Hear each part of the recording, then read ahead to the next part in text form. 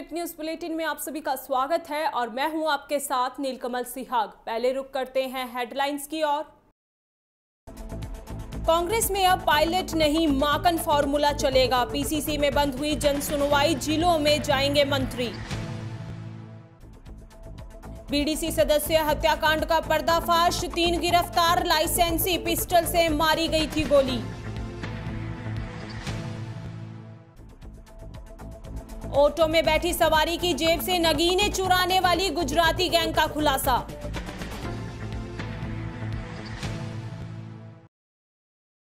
और अब खबरें विस्तार से। पूर्व पीसीसी चीफ सचिन पायलट के समय राजस्थान कांग्रेस कमेटी कार्यालय में शुरू जनसुनवाई का सिस्टम अब स्थायी रूप से बंद कर दिया गया है। सरकार के मंत्री अब पीसीसी में जन सुनवाई नहीं करेंगे। इसके बजाय अब वे प्रदेश प्रभारी अजय माकन के नए फॉर्मूले पर काम करते हुए जिलों में जाकर जन सुनवाई करेंगे। तय फॉर्मूले के अनुसार अब मंत्रियों को हर महीने ज़िले में जन सुनवाई करके अपनी रिपोर्ट कांग्रेस के प्रदेशाध्यक्ष और सीएम को देनी होगी। नए प्रदेश प्रभारी के रूप में कार्यभार संभालने वाले अजय माकन ने पीसीसी की बजाय जिलों में जन सुनवाई का सिस्टम शुरू कर दिया है। आपको बता दें कि पीसीसी में होने वाली मंत्रियों की जनसुनवाई का ग्रास रूट स्तर पर आम जनता और कार्यकर्ताओं में कोई खास प्रभाव नहीं पड़ा रहा था। कांग्रेस में रणनीतिकारों का मानना है कि पीसीसी की जनसुनवाई की बजाय जिलों में आम जनता की सुनवाई से ज़्यादा प्रभाव पड़ता है।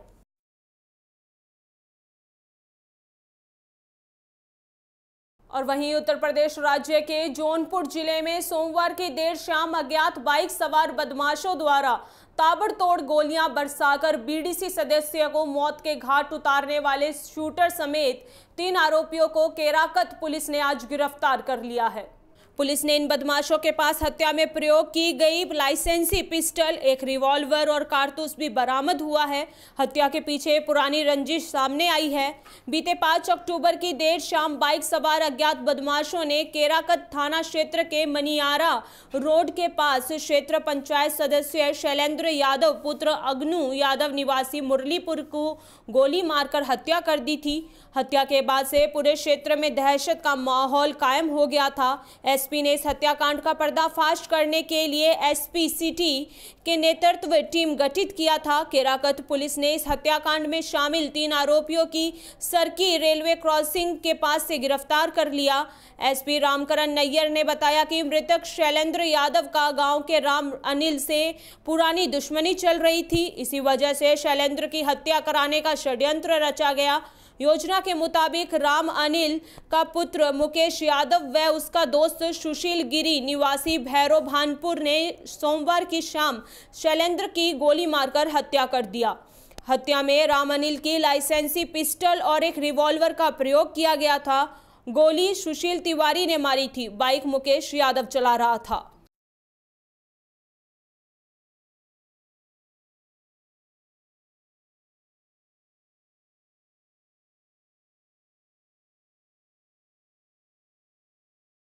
जनपद जौनपुर के थाना केराकट में दिनांक 5 अक्टूबर को एक घटना हुई थी, जिसमें श्री शैलेंद्र यादव, जिनकी डेयरी की दुकान थी, वे अपनी दुकान बंद करके घर जा रहे थे। उसी दौरान मनियारा मोड़ पे अज्ञात बाइक सवारों द्वारा उनको गोली मार दी गई थी, जिन्हें जिला अस्पताल भेजा गया था तो मृत घोषित किया गया था। इस संबंध में थाना केराकत पे मुकदमा अपराध संख्या 345 बाय 2020 अंतर्गत धारा 302 आईपीसी दर्ज किया गया था। और एक के लिए तुरंत एसपी सिटी के निर्देशन में कई टीमों का गठन कर दिया गया था। और मुझे बताने में खुशी है कि जौनपुर पुलिस द्वारा घटना में शामिल अभियुक्तों की गिरफ्तारी कर ली गई है। उनके द्वारा जिस हथियार से मृतक पे गोली चलाई गई थी, वह हथियार भी उनकी निशानदेही पे बरामद कर लिया गया है। और इसके साथ साथ इसकी हत्या से जुड़ी जो साजिश है, उसका पर्दाफाश हो गया है। इस मामले में हमने तीन लोगों को गिरफ़्तार किया है, जिनमें एक राम अनिल, एक सुशील उर्फ़ गोलू गिरी और एक मुकेश यादव है इनकी डिटेल प्रेस नोट में दी गई है। और इन तीनों को जेल भेज करके इस केस की प्रभावी पैरवी के लिए इस केस को मॉनिटरिंग सेल में डालेंगे। और आगे जो भी अवगत जो भी प्रगति होगी उससे आप लोगों को ये लाइसेंसी रिवॉल्वर किसका किस कारण से हुई थी? ये लाइसेंसी रिवॉल्वर मुकेश यादव के पिता राम अनिल के नाम पे है। हत्या किस कारण से हुई थी? कुछ हत्या के पीछे इनकी रंजिश सामने आ रही है। राम अनिल और मृतक जो है एक ही गाँव के आगे पीछे रहने वाले थे। और इनकी आपसी रंजिश के चलते आने वाले समय में राम अनिल की कुछ ख्वाहिशें थी जिसके चलते उनको लग रहा था कि शैलेंद्र यादव शायद उनका उनके रस्ते में आए। तो उसके चलते उन्होंने साजिश रची और उनके बेटे मुकेश यादव और उनके मित्र सुशील गोलू गिरी ने इसको अंजाम दिया। तो 120 वी में राम अनिल और 302 और 120 वी में सुशील गिरी और मुकेश यादव को राजनीति के कारण उनकी हत्या हुई ये बीडीसी सदस्य भी थे? बीडीसी सदस्य थे और इसी को लेकर के राम अनिल की कुछ आने वाले समय में आकांक्षाएँ भी थी। इन सब बिंदुओं पे आ, बाकी आगे जो भी हमारी विवेचना में आएगा भी इनको गिरफ़्तार किया गया विवेचना हमारी प्रचलित है उससे आप लोगों को अवगत करवाया जाएगा। इनका पहले भी कोई आपराधिक इतिहास रहा है? क्योंकि अभी पकड़े गए हैं तो उन सब चीज़ों को देखा जा रहा है। जो भी निकलेगा हमको थानों के उससे और या अन्य जनपद के उससे वो आप लोगों को अवगत करवा दिया जाएगा। और अब खबर राजधानी जयपुर के झोटवाड़ा थाना क्षेत्र से। झोटवाड़ा थाना पुलिस ने ऑटो में बैठी सवारी की जेब से नगीने चुराने वाली गुजराती गैंग का खुलासा करते हुए गैंग के तीन बदमाशों को गिरफ़्तार किया है। पुलिस उपायुक्त जयपुर, पश्चिम। प्रदीप मोहन शर्मा ने बताया कि झोटवाड़ा थाना पुलिस ने महेश भाई और जीना भाई परमार उर्फ़ लुगड़ी को गिरफ़्तार किया गया। झोटवाड़ा थानाधिकारी विक्रम सिंह ने बताया कि 23 अगस्त को चौथमल कसोटिया निवासी गुडामान सिंह कालवाड़ ने मामला दर्ज करवाया था कि उसकी जेब से नगीनों के पैकेट करीब एक लाख तीस हज़ार के रखे हुए थे। इस दौरान एक ऑटो वाला आकर रुका, जिसमें पहले से तीन सवारी व एक साल की बच्ची थी। उसे चांदपोल जाना था और उसने कहा, बस किराया ही लूँगा, आपको भी छोड़ दूँगा। वह उस ऑटो में बैठ गया। झोटवाड़ा के बाईपास कालवाड़ चेक पोस्ट पुलिया के आगे उसे धमकाकर उतार दिया। कुछ दूरी पर चलने के बाद जब उसने अपनी जेब चेक की तो नगीने नहीं मिले। इस पर पीड़ित थाने पहुँचा और मामला दर्ज करवाया। पुलिस ने मामला दर्ज कर घटनास्थल के पास लगे सीसीटीवी फुटेज खंगाल कर संदिग्ध लोगों पर निगरानी रखी गई। जिस पर हुलिये के आधार पर दस्तयाब कर पूछताछ की गई। पूछताछ में सामने आया कि आरोपित गुजराती गैंग के लोग दिन में ऑटो तीन चार लोगों की संख्या में सवार होकर घूमते हुए अपने टारगेट की तलाश करते हैं। टारगेट पीड़ित व्यक्ति मिलने पर उसे ऑटो रिक्शा में बीच में बिठाकर उसे आगे पीछे खिसकने का बहाने से उसकी जेब से चीरा लगाकर कीमती सामान, रुपया, गहने चुरा लेते हैं तथा वारदात करने के बाद टारगेट को थोड़ा आगे जाकर उतार देते हैं। वारदात के दौरान आरोपित अपने साथ साठ आठ वर्ष की बच्ची रखते हैं, जिससे वारदात करने के दौरान पीड़ित व्यक्ति को कोई शक ना हो। तीनों आरोपियों से गहनता से पूछताछ की जा रही है। वहीं आरोपियों ने पूछताछ में कई अन्य वारदातें खुलने की आशंका जताई जा रही है।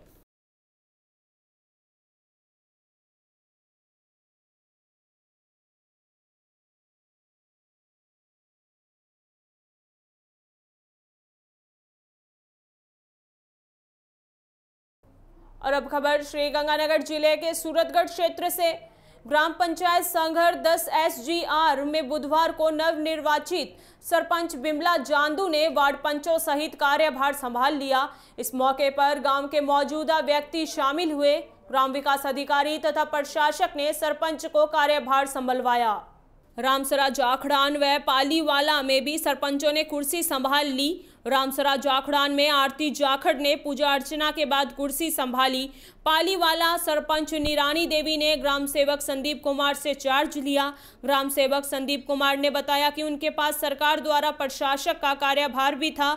अब सरपंच चुनने के बाद सरपंच को चार्ज दे दिया है।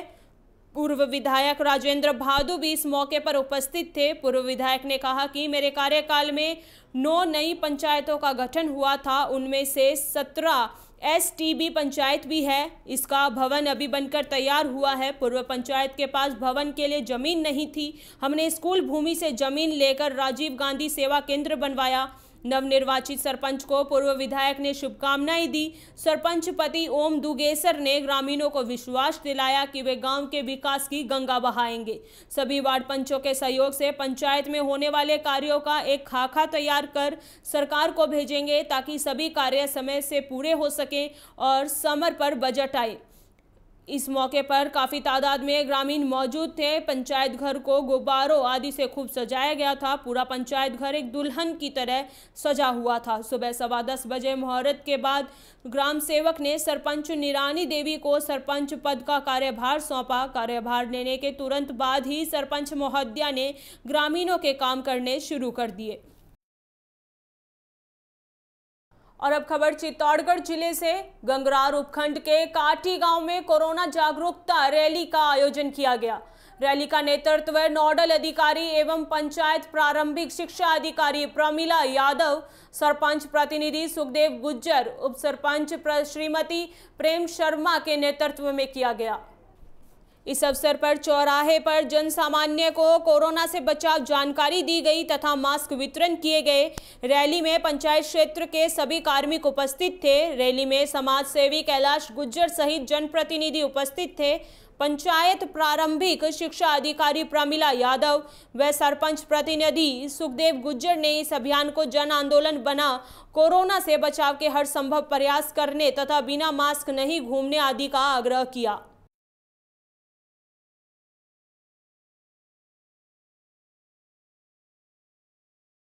और वहीं जोधपुर ज़िले के पंचायत समिति लूनी के ग्राम पंचायत लूनावास खारा से सरपंच चुनाव में युवाओं, बुज़ुर्गों व महिलाओं ने उत्साह से मतदान किया। शांतिपूर्वक चौरासी पॉइंट अठारह प्रतिशत मतदान हुआ।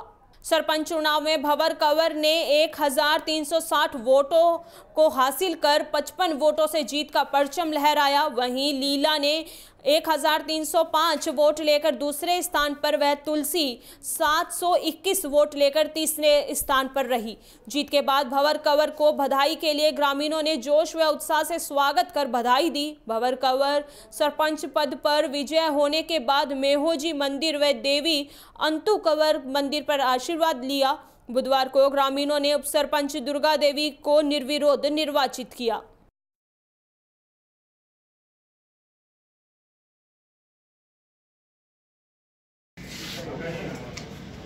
सरपंच प्रतिनिधि किशन सिंह। गुनावास थारा ग्राम पंचायत के समस्त ग्रामवासियों बहुत बहुत हार्दिक आभार प्रकट करता हूँ। उन्होंने मुझ पर विश्वास होता कि मुझे भारी मतों से विजय दिलाई और अब मेरा काम रहेगा। मैं विश्वास व्यक्त करता हूँ किसी कोई प्रकार का भेदभाव न करके सतीश को उनको साथ रखे गाँव के विकास के लिए पूर्ण रूप से काम कराने का भरसक प्रयास करूँगा।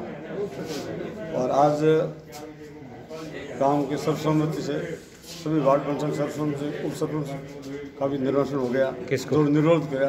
किसको? श्रीमती दुर्गा देवी को निर्विरोध उप सरपंच घोषित किया गया।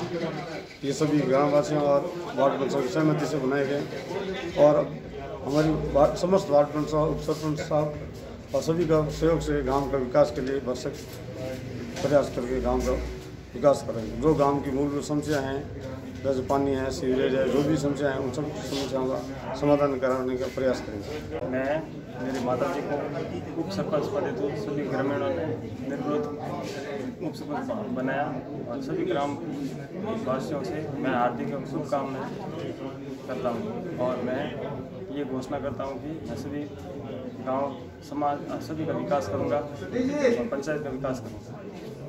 यस सरपंच प्रत्याशी उप सरपंच हमारी उप सरपंच उप सरपंच प्रत्याशी दुर्गा देवी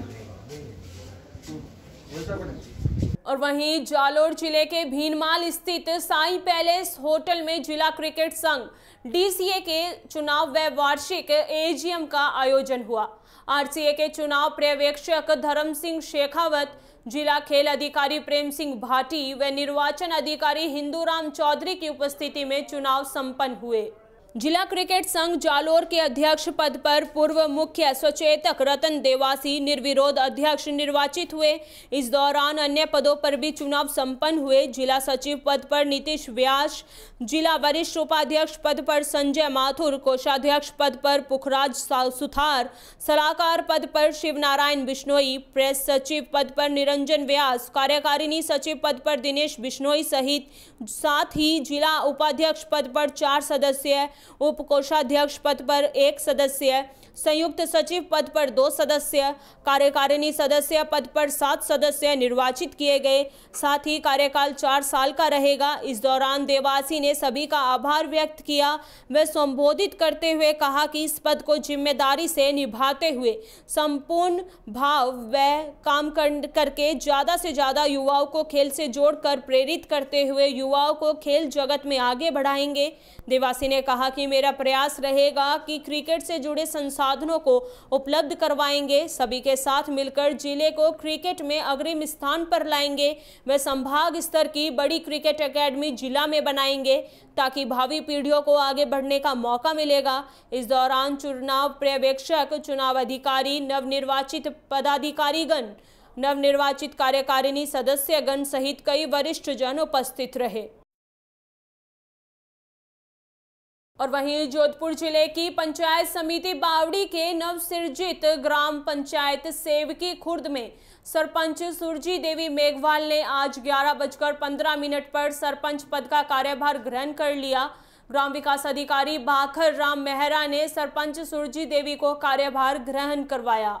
सरपंच ने बताया, ग्राम पंचायत भवन का निर्माण, स्कूली शिक्षा को बढ़ावा, बालिका शिक्षा पर विशेष ध्यान, गरीब परिवार को विकास की मुख्य धारा में लाना, उनकी प्रमुख प्राथमिकताएँ होंगी। मेहरा ने बताया, ग्राम पंचायत सेविकी खुर्द की पहली ग्राम सभा में सरपंच सुरजी देवी ने पंचायत नवीन भवन निर्माण हेतु गैर मुमकिन आबादी खसरा नंबर निन्यानवे बटा एक में नौ बीघा ज़मीन ग्राम पंचायत भवन के लिए पारित कर दिया है। सरपंच पद ग्रहण समारोह में उप सरपंच गोमती सरपंच प्रतिनिधि निम्बाराम पटवारी उर्सा सारण, छह वार्ड पंच सहित गणमान्य नागरिक उपस्थित थे। स्टेट न्यूज़ बुलेटिन में फ़िलहाल के लिए बस इतना ही। देखते रहिए डीपीके न्यूज़। नमस्कार.